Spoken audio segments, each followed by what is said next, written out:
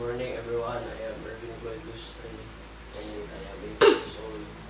And I'm from Luzon, Morgan, Isotobao and I live in Barangay Dubiwan, Yaki Boulevard, Davao City. And I am performing kneeling and standing bow. This is the standing bow.